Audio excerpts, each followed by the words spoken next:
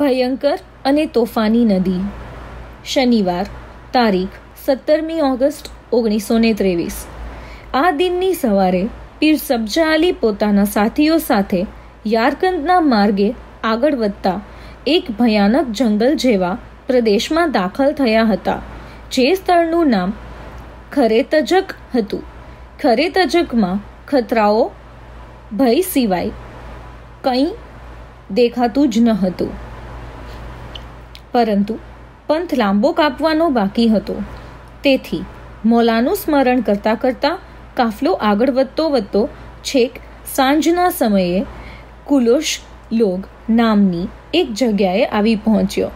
આ જગ્યાએ કાફલાએ રાતવાસો કર્યો અને બીજી સવારે રવિવાર તારીખ અઢારમી ઓગસ્ટ ઓગણીસો ને ત્રેવીસના રવાના થઈ સમરોશ ખાતે સઘળા આવી પહોંચ્યા, જ્યાં ઘણી મોટી સંખ્યામાં ઇસ્માઇલીઓ વસવાટ કરતા હતા.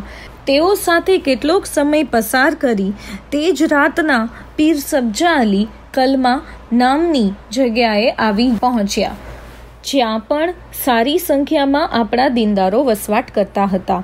અહીં સબ્જા અલી નામના એક સરકારી અમલદાર રહેતા હતા, જેઓ ઇસ્માઇલી હતા.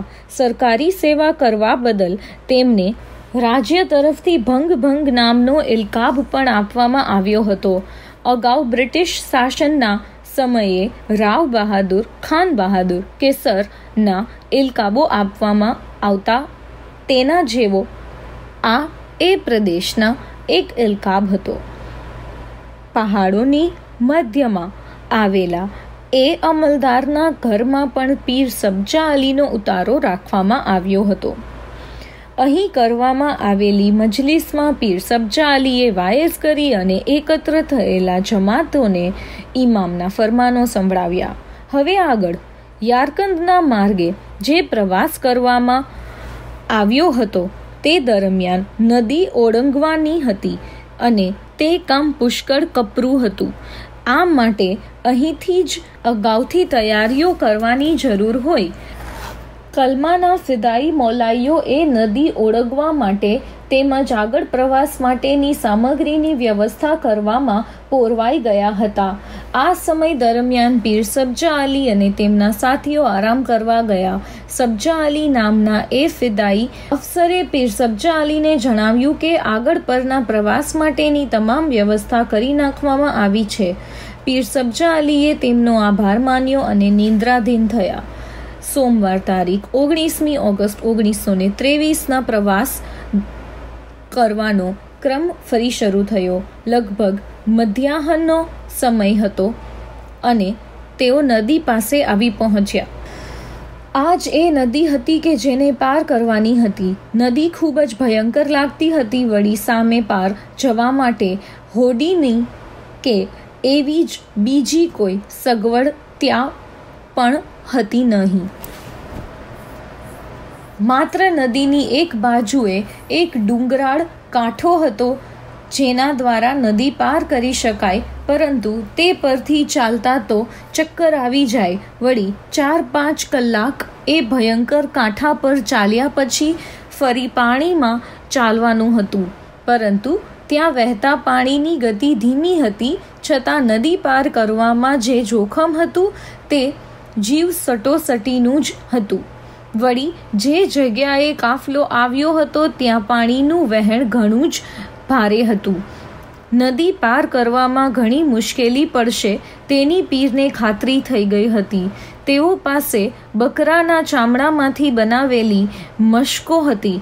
આ મશકો દ્વારા નદી પાર કરવાનો ઈરાદો રાખવામાં આવ્યો હતો, પરંતુ પાણીનો પ્રવાહ એટલો જોશબંધ વહેતો હતો કે નદીમાં ઝંપલાવવાની કોઈની હિંમત નહોતી ચાલતી.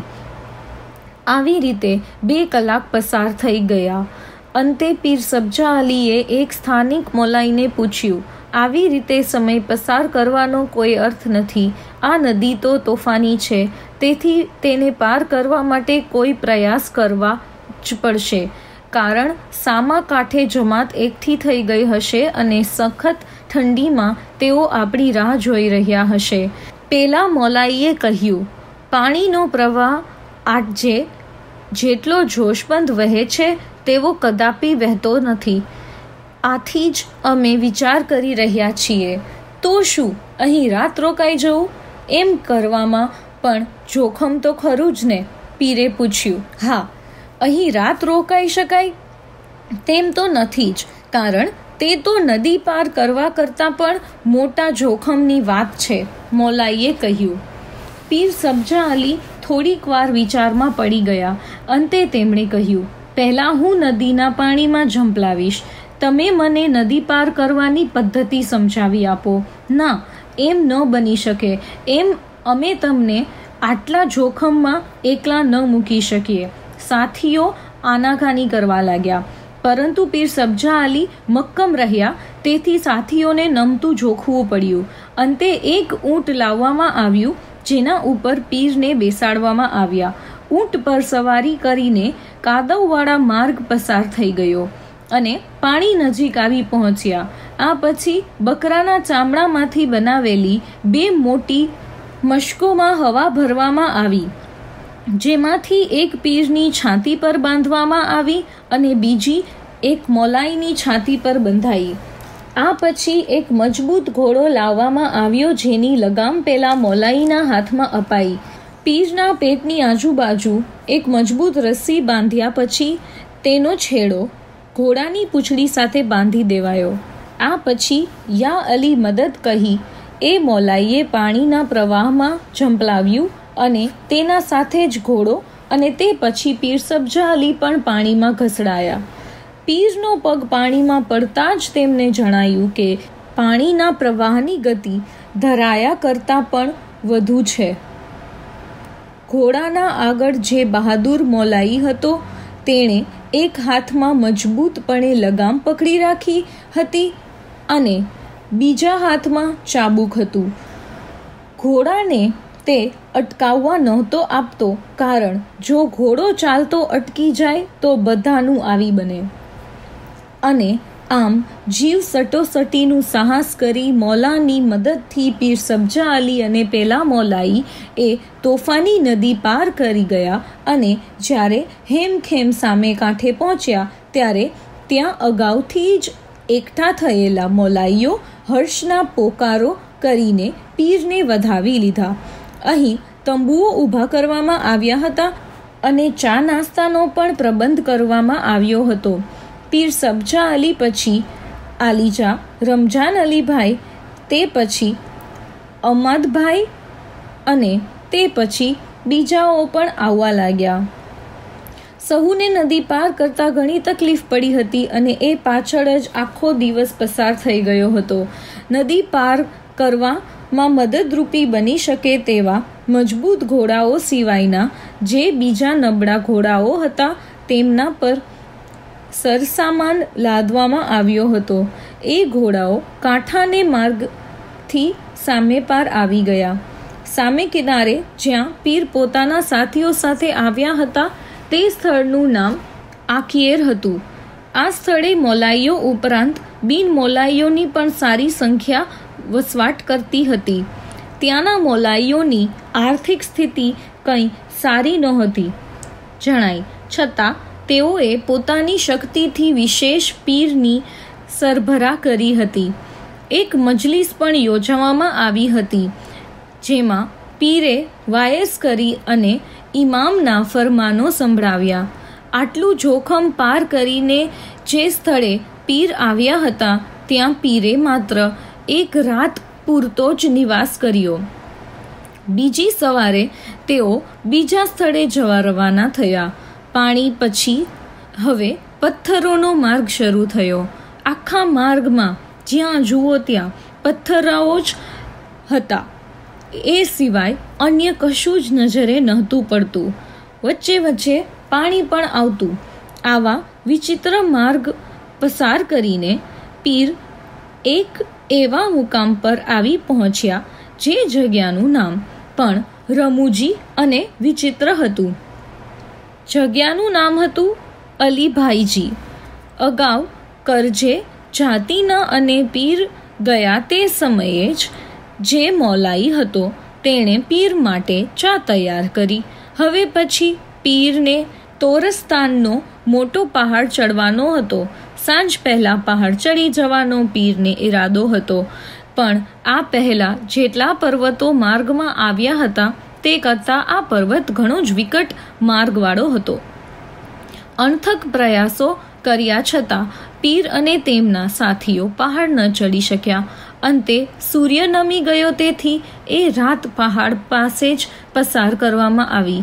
પહાડ ઘણો જ ભયંકર લાગતો, છતાં આરામથી એને કોઈ પણ જાતના વિઘ્ન વગર રાત પસાર થઈ ગઈ. બીજી સવારે પહાડ ચડી ચાર લોગ નામના સ્થાને પહોંચ્યા, જ્યાં મુખ્યત્વે કરગેજ જાતિના લોકો જ વસવાટ કરતા હતા. આ લોકો સ્વભાવે ખૂબ જ જનૂની હતા અને ક્યારે શું કરી બેસે તે કહી શકાય તેમ નહોતું. છતાં પીરને જે જે સ્થળે જવાનું હતું ત્યાં જવા માટે આ રસ્તેથી પસાર થયા વગર અન્ય કોઈ જ ઇલાજ ન હતો. પીરના સાથે યારકંદના મુખી સાહેબ પણ સફર કરી રહ્યા હતા અને તેમને કરગેજો સાથે સારો પરિચય હોવાથી આ જનૂની લોકો તરફથી પીરને કોઈ જ કંડગત ખમવી ન પડી. એક સુંદર બગીચામાં પીરને ઉતારો આપવામાં આવ્યો હતો. ખાધા ખોરાકીની વસ્તુઓ પીરે પૈસા આપીને ખરીદવા ઈચ્છા પરંતુ સામાન્ય રીતે પોતાના જનૂન માટે પ્રખ્યાત એવા ત્યાંના લોકોએ એક પણ પૈસા લેવા માટે ના કહી અને પીરને ખૂબ જ સરભરા કરી. મોલાની દયાથી જેમ માર્ગની અનેક વિકટતાઓ આસાન બની ગઈ હતી, તેમ લોકોના હૃદયમાં પણ ઇમામની દયાથી જ પરિવર્તન થતું હતું અને પીર આગળ અને આગળ વધી રહ્યા હતા. બીજી સવારે પીર સબજા અલી પોતાના સાથીઓ સાથે ચાર લોગથી રવાના થઈ ગયા. યારકંદના મુખી સાહેબે એમ કીધું હતું કે, એ આખો ઇલાકો કરગોજોથી વસાયેલો હતો. તેથી આ ઇલાકો બનતી ત્વરાએ છોડી જવો જ સલાહભર્યું હતું. પરંતુ માર્ગ સહેલાઈથી કપાતો નહોતો કારણ ક્યાંય પહાડો આવતા, ક્યાંય નદી આવતી, તો ક્યાંય નાળા આવતા અને આમ એક પછી એક અવરોધો આવ્યા જ કરતા. સવારીના પશુઓ પણ થાકી ગયા હતા. અંતે સાંજ સુધી સખ્ત પરિશ્રમ ભરી મુસાફરી કરીને કાફલો કોકિયાર નામના પહાડને નજીક આવી પહોંચ્યો. અને ત્યાં આવેલા એક બગીચામાં રાતવાસો કર્યો. સવારે પહાડ પર ચડવાનું શરૂ કર્યું અને પુષ્કળ પરિશ્રમ કરી પહાડ ચડી શકાયો. પહાડ ચડી જતા સપાટ જમીન આવી. તેથી કાફલાએ પોતાના ઘોડાઓને જોશથી દોડાવવાનું શરૂ કર્યું. માર્ગમાં પાંચેક જેટલા મોલાઈઓ સામે મળ્યા. પીરને જોઈ તેઓ ઘોડા પરથી ઉતરી ગયા. પીર પણ ઘોડા પરથી ઉતર્યા અને ત્યાં પછી સહુ અરસપરસ પ્રેમથી એકબીજાને ભેટ્યા. સામે આવેલા મોલાઈઓ પોતાના સાથે ફળ અને નાસ્તો લઈને આવ્યા હતા. જમીન પર પથરાણ બિછાવીને સહુ બેઠા અને નાસ્તાને ઇન્સાફ આપ્યો. આથી મુસાફરીનો થાક ઉતરી ગયો. એ મોલાઈઓ યારકંદથી આવેલા હતા. એમાં એકનું નામ તલાખાન હતું જે યારકંદમાં કોન્સિલની પદવી ધરાવતો હતો. ઘણી મોટી પાયરીનો એ અમલદાર હતો, છતાં મઝહબ પ્રત્યેની તેની આસ્થા અજોડ હતી. થોડેક સુધી તો કોન્સિલ તલાખાન પીરના ઘોડાની લગામ પકડીને ચાલતા રહ્યા. પીરે જ્યારે ખૂબ જ આગ્રહ કર્યો ત્યારે તેઓ પોતાના ઘોડા પર બેઠા. માર્ગ સીધો અને સરળ હતો. યારકંદની સીમા હવે નજીક આવી ગઈ હતી. રસ્તો સરળ હોવાથી સઘળાઓ ઝડપથી પોતાના ઘોડાઓ દોડાવવા લાગ્યા હતા. માર્ગમાં સરેકતો કરાકની જમાત સામે આવતી હતી. એક મોટા વૃક્ષ નીચે રંગબેરંગી ગાલીચાઓ પાથરવામાં આવ્યા હતા. અહીં બેસીને સઘળાઓએ નાસ્તો કર્યો. અહીં થોડોક આરામ કરી કાફલો આગળ વધ્યો અને સાંજના યારકંદ ઇલાકાના સરકે તોરાગ નામના સ્થળે સઘળા આવી પહોંચ્યા. ત્યાંના મોલાઈઓનું જીવન ઘણું જ સુખભર્યું હતું. અહીં રાત વસો કરી રહેવાનું હોય એક મોટા બંગલામાં પીરના ઉતારા માટે ગોઠવણી કરવામાં આવી હતી. પીર અહીં આવનાર હોવાના સમાચારો અગાઉથી જ તેમને મળી ગયા હોવાથી એ બે ત્રણ દિવસ અગાઉથી આ તરફના ગામમાંથી ઘણા મોલાઈઓ આ સ્થળે આવી ગયા હતા. સઘળા પીરની મુલાકાત માટે આવ્યા હતા. ત્યાંની ભાષા પીર સમજી શકે તેમ ન હોય એ લોકો સાથે દુભાષીએ મારફત વાતચીત કરી. રાતના કોઈ મજલિસ ન કરવામાં આવી, પણ બીજી સવારે રવિવાર તારીખ છવ્વીસમી ઓગસ્ટ ઓગણીસો ને ત્રેવીસની સવારે એક મજલિસ કરવામાં આવી, જેમાં પીરે વાયસ કરી જમાતને ઇમામના ફરમાનો સંભળાવ્યા. આ પછી સઘળાઓ આગળ વધવા માંડ્યા અને સાંજ થઈ સાઈ તંગ નામની જગ્યાએ આવ્યા આગલા મુકામથી, આ મુકામ સુધીનો આખો માર્ગ સરળ હોવાથી ત્યાં જતાં કોઈ તકલીફ ન પડી. સાઈતંગની ઇસ્માઇલી જમાતને જે ફિદાગીરી અને જાફેશાની પીરે જોઈ તેનું સ્મરણ તેમના હૃદયપટ પર કાયમ માટે કોતરાઈ ગયું છે. અહીં વધુ રોકાણ કરવાની અતિ ઈચ્છા હતી. પરંતુ રોકાવાઈ શકાય તેમ ન હતું. પણ કોન્સિલ તલાખાનના ગામ કૌશલ સાઈ પહોંચી જવાનું હતું. પર્વતોની પગદંડી હવે પૂરી થઈ હતી અને લાલ ધરતી પર પીરના ઘોડા દોડી રહ્યા હતા. ચોતરફ પક્ષીઓ કે લાલ કરી રહ્યા હતા. કેટલાય દિવસથી મૂંગા પહાડોમાં ઘૂમ્યા પછી રંગબેરંગી પક્ષીઓને કિલોલ કરતા જોઈને સહુના હૃદય પ્રફુલ્લિત બની ગયા. અંતે તેઓ એક આલિશાન બંગલા નજીક પહોંચ્યા તો ત્યાં અગાઉથી સેંકડો લોકો એકઠા થયા હતા.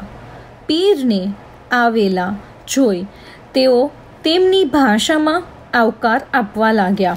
એ બંગલો તલાખાનનો હતો અને કોઈ બાદશાહનો હોય મહેલ તેઓ સુશોભિત હતો.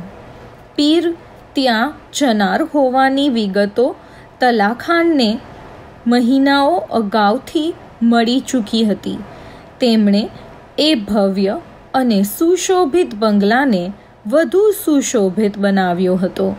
બંગલામાં ખાસ પીર માટે વ્યવસ્થા કરવામાં આવી હતી અને એ રીતે તલાખાને પોતાની ફિદાગીરી બતાવી આપી હતી. ઉપરોક્ત લેખન આલિજા સુલતાન વી નૂર મોહમ્મદે કરેલ છે. તેમજ વર્ણન અલીશા દેવાણીએ કરેલ છે.